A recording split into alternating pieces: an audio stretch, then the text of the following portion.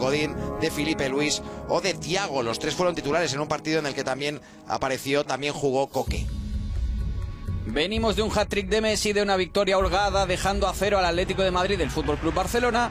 Pues vamos a otra victoria, en este caso 5 a 0. Veíamos a Ses Fábregas que ya aparecía ahí en el Fútbol Club Barcelona en una nueva temporada en la que el conjunto de Pep Guardiola quedaría segundo en la clasificación y no se llevaría el título de liga que sería finalmente para el Real Madrid. Sería el año de los 100 puntos del conjunto blanco, quedándose el Barcelona con 91. El Atleti a las puertas de la Liga de Campeones, superado en el sprint final por el Málaga. Recorte ante Miranda de David Villa, marcaría el 1 a 0, dejada de espuela de Xavi, la lucha de Pedro y el gol con fortuna. Bueno, no sé si se lo dieron a Messi, en cualquier caso parece que es Miranda, ¿no?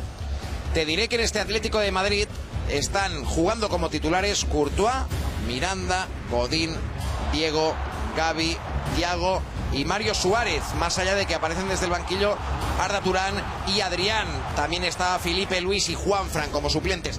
Te hablo de más de 10 futbolistas que ahora mismo son capitales en este Atlético de Madrid. Era el equipo que Manzano en su regreso a Calderón tampoco supo hacer funcionar. Llegaría Diego Pablo Simeone a media temporada y a partir de ahí el crecimiento del Atleti hasta convertirse en la verdadera alternativa al duopolio Real Madrid-Barcelona.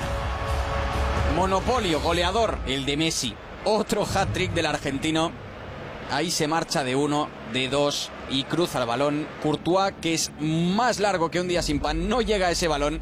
De hecho, ni lo intenta casi, ¿eh? Y fíjate, otra pared.